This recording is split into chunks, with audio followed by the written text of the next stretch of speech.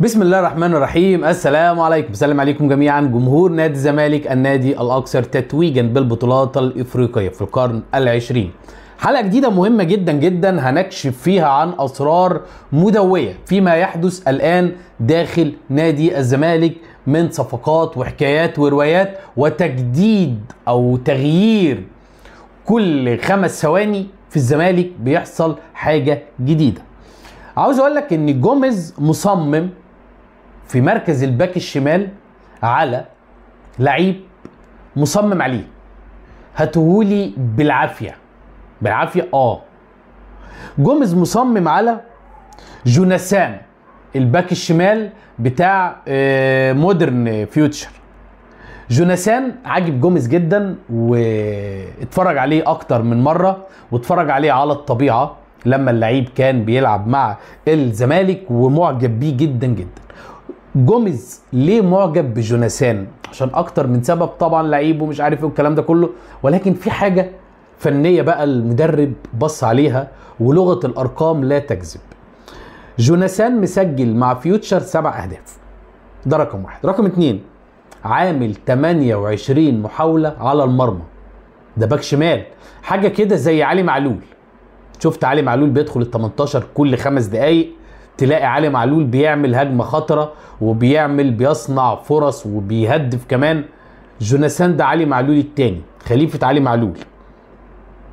بيدخل منطقة الجزاء كتيرة بقول لك جايب سبع تجوان ده back شمال مش لعيب وسط ولا مهاجم ولا جايب سبع تجوان.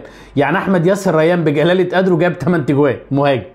ده بقى مدافع شمال باك شمال ويعتبر خليفة علي معلول جايب سبع أهداف بيدخل ال 18 كتير جدا جدا جدا جدا وبيرتد سريعا. هو طبعا عيبه الوحيد أعتقد عنده 30 سنة حاجة زي كده هو لكن ممكن الزمالك يستفيد بيه. طب علي معلول أهو بسم الله ما شاء الله يعني 34 سنة. عمر جابر. برضه معدي ال 30 وبسم الله ما شاء الله كويس. فأنت ممكن تجيبه كحل مؤقت تقدر بقى توظف فتوح في نص الملعب في القلب في الديفندر رقم 8 تلعب فتوح قدامه تلعب وراه تلعب جوناثان هو ولكن هو لاعب مهم جدا وجوميز مصمم عليه والناس في نادي الزمالك شايفينه خليفة علي معلول. ده بالنسبة لجوناثان. بالمناسبة في اتنين مهاجمين معروضين على الزمالك ما حدش اتكلم عنهم كتير. فادي فريد مهاجم سموحة هم أنا ما بتفرجش على ماتشات سموحة ولكن هم بيقولوا لعيب كويس. فادي فريد لعيب كويس. واللعيب التاني اللي معروض على الزمالك من أحد الوكلاء هو جون إيبوكا مهاجم سيراميكا ولكن أنا لا أحبذ فكرة التعاقد مع جون إيبوكا. جون إيبوكا كان قبل ما يروح ليبيا لما كان مع سيراميكا وكان الكلام داير مع الزمالك okay. ولكن هو الآن مستواه مش أفضل حاجة وجون إيبوكا كمان بيجيد اللعب في المساحات. نادي الزمالك والأهلي الفرق اللي بيلعبوها ما بيكونش فيه مساحات. بيبقوا على طول ضاغطين والفرق اللي قدامهم بتلعب zone defense فمش هيتألق إيبوكا نادي الزمالك عاوز حاجة كده زي وسام أبو علي ال profile بتاع وسام أبو علي عاوز حاجة زي فيستو مايلي نادي الزمالك عاوز حاجة كده. أتمنى إني نادي الزمالك يقدر إنه يخلص آه، مهاجم أجنبي بشكل كويس جدا جدا. فجون إيبوكا وفادي فريد وممدوح بتاع الحدود دول وأحمد ياسر ريان معروضين على الزمالك. جوميز وأنا لا أحبذ الكلام ده خالص. جوميز شايف إن رقم واحد أحمد ياسر ريان ورقم اتنين هو آه، اللي هو المهاجم بتاع فيوتشر أحمد آه، أحمد إيه؟ مهاجم فيوتشر يا جماعة يعني فكروني اسمه إيه؟ هفتكر لكم اسمه دلوقتي مهاجم فيوتشر آه هو عاوز الاثنين دول. جوميز عاوز الاثنين دول ومصمم عليهم وبيقول لك هم دول اللي أنا آه عاوزهم فتره الانتقالات القادمة. هو عاوزهم وعاوز الاثنين لعيبة آه دول. هنشوف جوميز أتمنى إنك يعني تجيب لعيبة كويسة يا عم جوميز وسيبك من قناعاتك سيبك من أحمد ياسر ريان آه اسمه أحمد عاطف مهاجم فيوتشر هو حاطط رقم واحد أحمد ياسر ريان رقم اتنين أحمد عاطف. ولكن الوكلاء عارضين زي ما بقول لكم إيبوكا وفادي فريد وطبعا ممدوح بتاع الحدود اللي طبعا طلعوا قالوا المشرف عام على الكورة طلع قال مش للبيع ولو 200 مليون جنيه. ولكن لو النادي والمسؤولين الكبار في النادي عاوزين يبيعوه هيبيعوه. فده بالنسبة لل لقناعات جوميز وكلام من هذا القبيل. طيب في لعيب يعتبر هو مش يعتبر هو اوريدي معروض على الزمالك والزمالك اتكلم مع وكيله وعاجب جوميز جدا. واللعيب ده هو بيلعب في الشمال مكان أشرف بن شرقي. وزي ما قلنا على جوناثان إن هو خليفة علي معلول فنقدر نقول لك إن هذا اللاعب هو خليفة أشرف بن شرقي. ليه بقى؟ بيلعب في مكان أشرف بن شرقي. هداف. بيدخل ال 18 كتير جدا. لعيب من أفضل اللعيبة اللي أنت ممكن تشوفهم. بيحملوا لواء المكان بتاع أشرف بن شرقي. من هو هذا اللاعب؟ اتكلمنا عليه قبل كده. انضم قبل كده لمنتخب نيجيريا أكتر من مرة. وهو صديق أوجولا. لاعب سيراميكا كليوباترا. ليه المسؤولين في الزمالك مايلين شوية لفكرة التعاقد مع صديق أوجولا لأكتر من سبب. في أسباب فنية تعالوا نتكلم فيها. السبب الفني الأولاني إن صديق أوجولا وينج شمال هداف بيدخل ال 18 كتير جدا جدا جدا جدا نفس فكرة أشرف بن شرقي. أشرف بن شرقي. بيدخل ال 18 كتير جدا وبيسجل وشويط. لعب 30 لقاء مع سيراميكا كليوباترا. سجل 10 أهداف و آه، بسبع أهداف. يعني ساهم ب 17 هدف ما بين تسجيل ومساهمة. في الواحد لواحد خطير. صديق أجولا. بيسدد كويس برجله اليمين وبرجله الشمال. فهو لاعب شبه متكامل. صديق أجولا.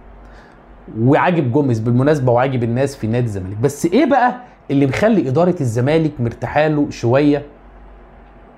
غير الفنيات. اولا إدارة الزمالك تقول لك إيه؟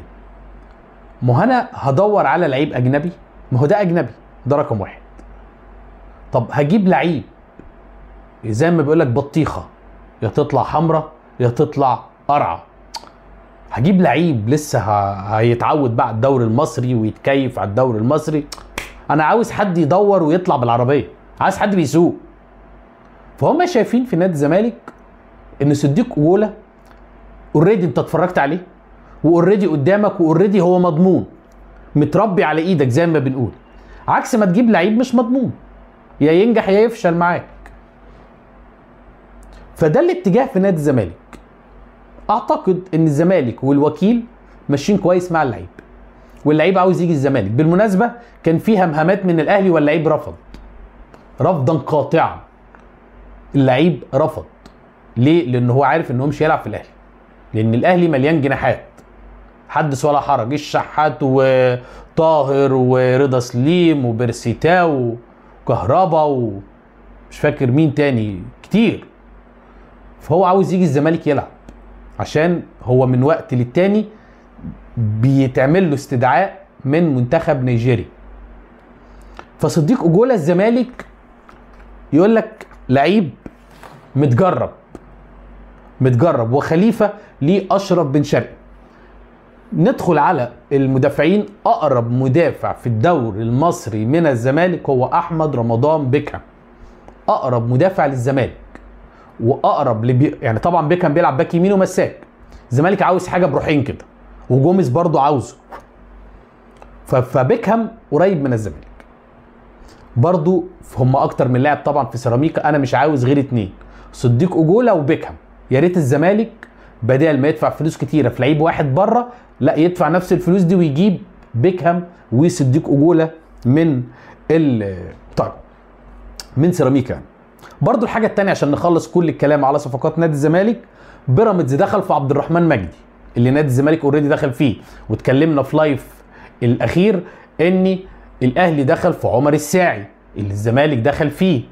ف بيراميدز بيدخل في عبد الرحمن مجدي رغبة اللعيب والنادي هم اللي هيحسموا نادي الإسماعيلي هم اللي هيحسموا موضوع موضوع عبد الرحمن مجدي. ولكن الزمالك عشان يدخل في فلوس قصاد الأهلي وبيراميدز خسرانة. الزمالك مش هيقدر يدخل في فلوس مع الأهلي وبيراميدز.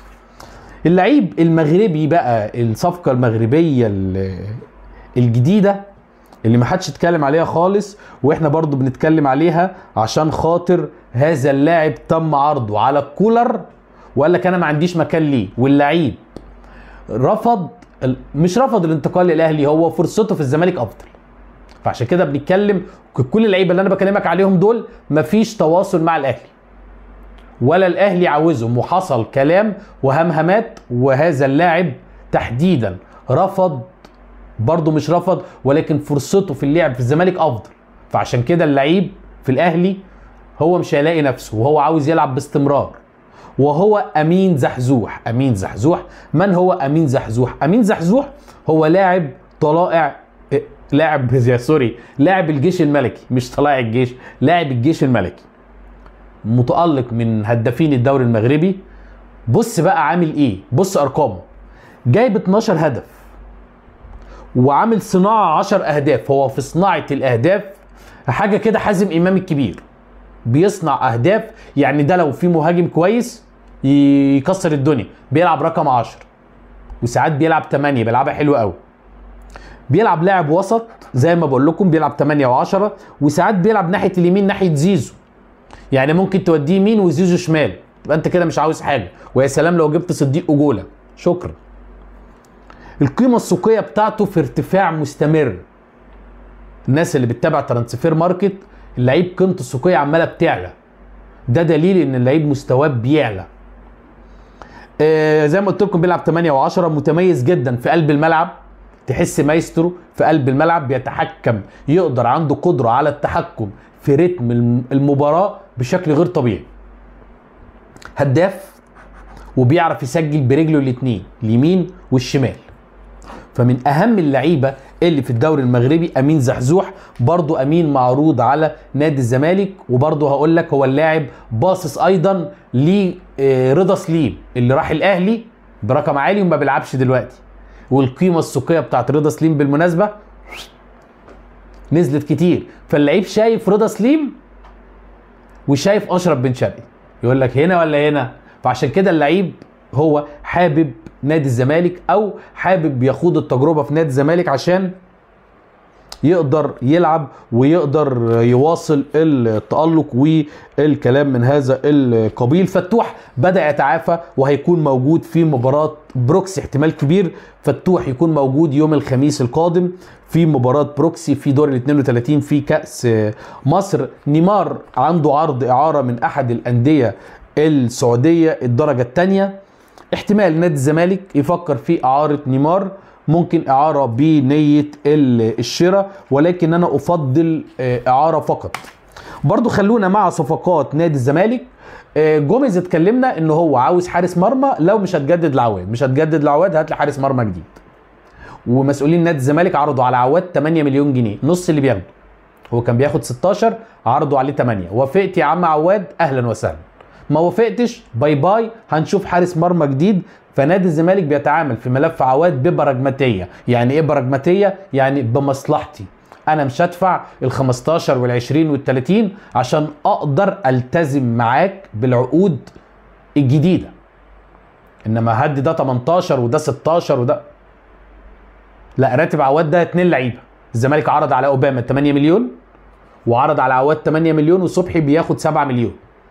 دول الثلاث لعيبة الأخرى اللي الزمالك بيتكلم في التجديد معاه عشان كده مشى محمود علاء 16 مليون ناصر منسي كذلك مصطفى شلبي برضه رقمه كبير. فممكن لما عقده يجي ينتهي نادي الزمالك يعمل معاه كده.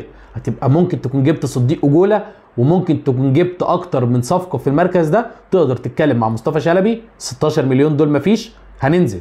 نادي الزمالك بيعمل حاجة كويسة إن العقود ما بتزيدش ده بتقل. عواد 16 8 أوباما 16 8 كده. فدي حاجة كويسة في نادي الزمالك. فجوميز قال لهم مش هتجددوا العواد هاتوا لي حارس مرمى.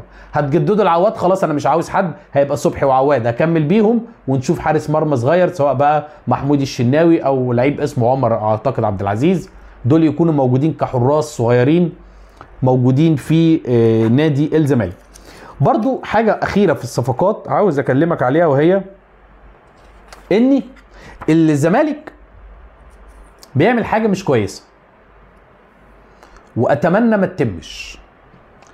طبعا الزمالك بيتكلم في جوناثان قصة حلوة وقصة جميلة وقصة زي الفل. ولكن جوناثان مشكلته إنه بياخد 600 ألف دولار مع فيوتشر. فهيجي الزمالك لو مش هيزود عليك هياخد نفس الرقم. بس الزمالك مشكلته في جوناثان في الفلوس. الزمالك بقى بيفكر في إيه الزمالك بيفكر في حاجة أتمنى ما تتمش. ودي صفقة كارثية بالنسبة لي. كلنا انتقدنا الطريقة بتاعه صفقة زياد كمال. اللي انت جايب لعيب إعارة ب 30 مليون جنيه سنتين ونص جايبه في يناير هيلعب معاك لغايه نهاية الموسم ده ولسه كمان سنتين جايين. وبعد كده لو عاوز تشتريه برغبة إنبي مش بنية الشراء لازم ترجع لإنبي تاني تشتريه من أول وجديد. فطبعا كلنا ضد صفقة زياد كمال. الزمالك عاوز محمد حمدي لعيب انبي باك الشمال والباك الشمال بتاع المنتخب الاولمبي أستاذ أيمن الشريعي اللي هنجيله دلوقتي في كلام مهم جدا جدا اشترط إن محمد حمدي هسيبهولك بنفس الطريقة بتاعة زياد كمال ولكن مش سنتين ونص ثلاث سنين من أول الموسم اللي جاي. اللعيب مرحب عاوز الزمالك وأيمن الشريعي ما عندوش مشكلة إنه يسيب اللعيب بالطريقة دي. نادي الزمالك بدأ إنه يدرس الموضوع ده. لا هقول لك وافق ولا هقول لك رفض. بدأ يدرس الموضوع ده. أنا أستأذن إن المسؤولين في نادي الزمالك الموضوع مش محتاج دراسة. النوع ده من الصفقات بيكون بيكبل النادي. اللعيب ثلاث سنين هتاخده برضه عرب 30 مليون؟ اعاره بس مش نية شراء زي زياد كمال؟ لا طبعا. فأنا حاسس إن في اتجاه للموافقة على الموضوع ده. أتمنى بلاش محمد حمدي بنفس طريقة أنا ما بقولش بلاش محمد حمدي. بلاش محمد حمدي بنفس طريقة زياد كمال. بلاش. أتمنى بلاش يا جماعة. كفاية زياد كمال.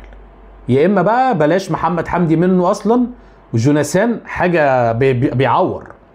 جوناثان لعيب كبير. وبيدخل زي ما بقول لكم ال 18 وبيعمل وبيسوي. إنما محمد حمدي مش هيجي يعني يجيب لي الديب من ديله. لا أنا لا أنا عندي أنا عندي ألعب بأي حد في الشمال ولا أعمل ال- الشغل ده. أنا آسف يعني. طيب عاوز أقول لكم إني في تفكير عند تركي الشيخ إن هو يعمل السوبر الأفرو أوروبي. اللي يكسب من الزمالك والأهلي واللي يكسب من ريال مدريد وأتلانتا في السوبر الأوروبي. اللي يكسب من هنا هيلاعب اللي يكسب من هنا على حاجة اسمها الافرو أوروبي. هيكون الفائز. هياخد 6 مليون دولار. هو لسه الراجل بيفكر ولسه بيتكلم مع الاتحاد الدولي فيفا. وكمان هقول لك سر. هو مستني الأهلي يكسب. الزمالك لو كسب إنما الأهلي لو كسب هو انت عارف عايز يصالح جمهور الاهلي وطبعا بي- بيحاول جاهدا إنه يصالح الكابتن الخطيب ولكن الكابتن الخطيب رافض صلحه حتى الآن ورافض إن هو يصالحه لغاية دلوقتي يعني. فده بالنسبة للسوبر الافرو أوروبي. في حالة لو الأهلي كسب بس إنما الزمالك هو مش هيعمل الكلام ده ولا هيفيد نادي الزمالك لأن هو راجل أهلاوي يعني غير محايد بالمرة يعني. ودي حاجة حلوة إنك تكون غير محايد تحب فريقك بس. ماشي تمام حقك يا باشا حقك يا باشا. طيب شوف ربنا سبحانه وتعالى. محمد شريف اللي تخطى ال 30 عام مجرد بس كلام اللي طلع كلام عليه الزمالك وانت قريب من الزمالك أو الزمالك هيدخل مفاوضات معاك أو الحكاية أو الرواية. محمد شريف فريق الخليج السعودي سافر وهو ما سافرش معاهم المعسكر بتاعه. فمعسكر أوروبي بيسألوا وكيله ليه محمد شريف ما سافرش مع ال- البعثة بتاعت الخليج السعودي يعني. ده كلهم سافروا. رد الوكيل قال لك بسبب التأشيرة اتأخرت. واللاعب بيتبقى في عقده موسم والموسم الثاني باتفاق اللاعب مع النادي. ولا يوجد عروض له حتى الآن.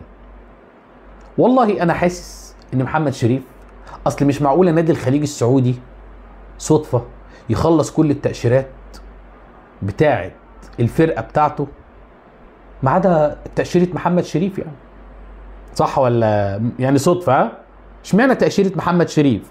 أعتقد إن القدر بينتقم من محمد شريف لأن كان هو اللي المفروض يسعى إنه يجي الزمالك عشان خلاص هو انطفى انطفى خلاص. فشوف ربنا شفت القدر بينتقم للزمالك إزاي؟ محمد شريف النادي بتاعه يسافر أوروبا والمعسكر الخارجي وما ياخدوش معاه. ده بالسلامة الموسم الجاي. بالسلامة الموسم الجاي. روح بقى ادور لك على أي حتة العب فيها. شفت ربنا سبحانه وتعالى؟ حاجة يعني آه طيب. تعالى ندخل على موضوع تاني. أسامة فيصل هقول لك كارثة من الكوارث اللي كانت بتحصل قبل كده وبعدين نخش على رمضان صبحي وبعدين نخش على إيه؟ على آخر موضوع أهم موضوع عندي في الحلقة النهارده. نبدأ الأول بأسامة فيصل. أسامة فيصل المجلس السابق طلعوا إعارة للبنك الأهلي أعتقد كانت في صفقة ناصر منسي. الصفقه بتاعت ناصر منسي اللي ربنا لا يرجعها يعني. هل تعلم يا صديقي أن المجلس السابق أعاره أسامة فيصل اللي كان فاضل له سنتين في عقده أعاره مش عارف موسم أو موسمين بدون ما يعمل له تمديد للعقد بتاعه؟ يعني هت... هيتم إعارتك سنة مدد سنة تاني قصادها أو سنتين عشان تبقى بتاعي لما تخلص الإعارة. لا المجلس السابق ما عملش كده. المجلس السابق أعاره موسم أو اتنين مش متذكر وما مددش عقده. فاللعيب اللعيب في بداية الموسم كان فاضل له ست شهور. وعقده ينتهي ويوقع فري. طبعا الكابتن حسين لبيب لقى إن هو واللعيب طبعا مش راضي يمضي للزمالك لأنه هيبقى احتياطي. الجزيري وناصر منسي وسامسون فاللعيب قال لك خليني في البنك الأهلي بلعب أساسي عشان كمان المنتخب الأولمبي ومش عارف إيه والكلام ده كله. شفتم هل المجلس السابق كان قاصد إن هو يطفش اللعيبة؟ ولا اللعيبة سبحان الله كانت بتطفش بالصدفة؟ مش عارف. قولوا لي رأيكم ولكن لما لعيب يخرج إعارة بدون تمديد عقده أعتقد موسمين أنت بتهزر. يا قاصد. الله أعلم. الله أعلم. اكتبوا لي رأيكم في التعليقات. هل ده كان قصد ولا هزار؟ وكل ظهر الحق وزهق الباطل. إن الباطل كان زهوقا. براءة رمضان صبحي من تعاطي المنشطات. نتيجة العينة التانية أثبتت براءة رمضان صبحي من تعاطي المنشطات. نتيجة العينة التانية أخذت بعد 45 دقيقة من العينة الأولى.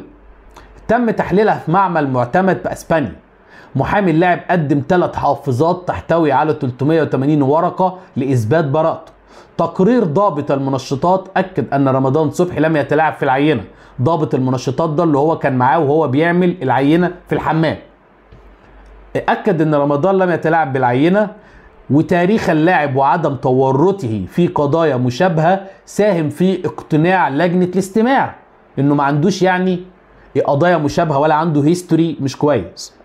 اللاعب ينتظر خلال ساعات رفع الإيقاف رسميا عنه خلال الساعات المقبلة واللاعب كان في حالة نفسية سيئة خلال الأيام الماضية ولم يشارك في تدريبات فريقه. فرمضان صبحي براءة مبروك رمضان صبحي. سؤال. اشمعنى رمضان صبحي تم إثبات براءته بعد ماتش الأهلي وبيراميدز اللي الأهلي كسبه؟ ده السؤال الأول. السؤال الثاني هتيجي تقول لي يا عم ده لسه في ماتش تاني بعد أسبوع مش عارف ولا إيه ما بين برضو الأهلي وبيراميدز. فيعني يا عم محمد طب ما رمضان ممكن يلعب الماتش التاني.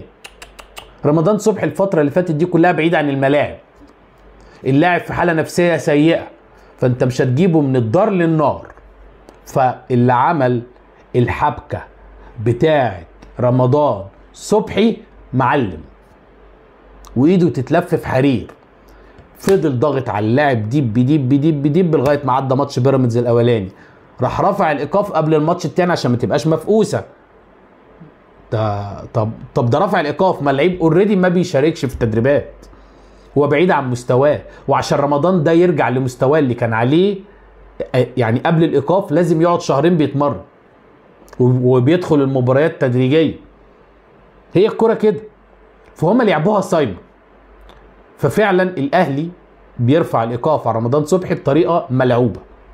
وأحيي لجنة المنشطات اللي لو كان ده لعيب في الأهلي والله ما كنتوا تجرؤوا إنكم تبقوا فوق. أتمنى من رمضان صبحي ما أعرفش ينفع يقاضيهم ولا لأ ولكن اتلعبت بمعلمة. والأهلي قدر إنه يرفع الإيقاف عن رمضان صبحي. صراحة ملعوبة. ملعوبة! أحب أنا الجيم الحلو. رفعوه في وقت إيه؟ ابن لذينة. خلاص الماتش خلص الأولاني وكسبناه كمان. ارفع بقى الإيقاف والماتش التاني هيجي هيكون اللعيب مش جاهز. يبقى خلاص إحنا كده خلاص ظبطنا الدوري وخدناه وابراهيم عادل مع المنتخب الاولمبي وعامر حسين حط لنا الاهلي وبيراميدز في توقيت المنتخب الاولمبي عشان إبراهيم عادل مش هيكون موجود واللعيبه بتوع الاهلي اللي كانوا المفروض يكونوا موجودين لعيبه غير مؤثره وابراهيم عادل بس هو اللي مؤثر احب أنا الجيم اللي بيتلعب حلو. تعالوا ندخل على الموضوع الاخير وهو هناك اتصالات من رجال كبار مسؤولين كبار. مع الأستاذ محمود طاهر لرئاسة اتحاد الكرة. أستاذ محمود طاهر متردد ولكن في المكالمة اللي حدثت مع المسؤولين الكبار والاتصالات من الوسطاء أستاذ محمود طاهر كان ليه طلب. كان ليه طلب. إيه هو الطلب؟ إن هو عاوز معاه الأستاذ أيمن الشريعي رئيس نادي إنبي وأنا بصراحة الراجل ده بحبه ومحترم جدا. هو مع هو مع الزمالك وبيضحك على الزمالك وبيدبس الزمالك ماشي دي حاجة. إنما الراجل محترم أتمنى واحد زي ايمن الشريعي أتمنى أستاذ محمود طاهر أتمنى الكابتن طاهر أبو زيد محمد فضل أحمد عبد الله الناس دي لازم تكون موجودة. خالد ابن ابن الكابتن أحمد رفعت خالد رفعت الناس دي جديرة إنها تقود الكرة المصرية. فاستاذ محمود طاهر رئيس الأهلي السابق احتمال بيحصل عليه ضغوطات حاليا عشان يقبل إنه يدخل اتحاد الكورة وهو طلب قال هفكر ولكن لو هفكر أنا عاوز معايا الأستاذ أيمن الشريعي لازم يكون معايا. يا إما بقى ممكن هو يختار قايمة والأستاذ أيمن الشريعي يبقى هو رئيس الرابطة الجديد ولكن الكلام ده لو أصلا الباشا اللي موجود دلوقتي مشي. اللي أنا عارفه إن الباشا اللي موجود دلوقتي بتاع رابطة الأندية عاوز يبقى رئيس اتحاد كورة. وعامر حسين عاوز يبقى موجود والزمالك ما عملش حاجة ومفيش طلب من طلبات الزمالك اتنفذوا فأتمنى المسؤولين الكبار نرتاح بقى من الوجوه القديمة دي والحرس القديم الموسم القادم. نبني على نضيف ونعمل كرة على نضيف. لا عامر حسين ولا أحمد دياب ولا جمال علام ولا كل الناس اللي نجحت في أن تفشل. هات لي رئيس رابطة أيمن الشريعي. طبعا الأهلاوية مش عاوزين يقول لك ده زملكاوي. عشان الأهلاوية عاوزين دياب عامر حسين نفصل نعمل نأجل. الأهلاوي مش عاوز فير ولا عدالة. الأهلاوي عاوز كده على طول. عاوز ال ال ال عاوز الكلام ده يكون آه، مستمر معاه. هو ده الأهلاوي مش عاوز عدالة ولا الكلام ده كله. بس فدي حاجة. الحاجة الأخيرة طبعا التصريح بتاع ياسين حافظ اللي هو أخو آه، زوجة إمام عاشور. بيقول لك الموسم بدأ من أسبوعين وكنت رافض أروح النادي لأن كنت عارف اللي هيحصل معايا وأول أسبوع المعاملة كانت جيدة وبعد كده أنا كابتن الفريق. والأسبوع اللي بعديه لقيت نفسي بتدرب مع الاختبارات الناشئين. لماذا كل هذا بت يعني بتعملوا معايا كده ليه؟ هو طبعا عاوز يروح الأهلي وإمام عاوز يوديه الأهلي ولكن عاوز يسحب نفسه سنة سنة كده من الزمالك. أتمنى نادي الزمالك ما يوافقش على رحيل هذا اللاعب. ولازم نبقى ماسكين حتة كده من عند إمام عاشور وأنا قلت الكلام ده في لايف قبل كده. لازم اللعيب ده يكون موجود في الزمالك وتخليه معاك لأن طول ما أنت الولد ده في حضنك طول ما إمام عاشور مش هيقدر إنه يسيء لنادي الزمالك بأي شكل من الأشكال. سعدت جدا بيكم. أتمنى تكون الحلقة عجبتكم وإن شاء الله دايما نتقابل على خير وصحة وسعادة. ما تنسوش بقى الاشتراك في القناة وتفعيل الجرس ولايك وشير للفيديو. أشوف حضراتكم على خير بإذن الله تعالى. والسلام عليكم. مع ألف سلامة.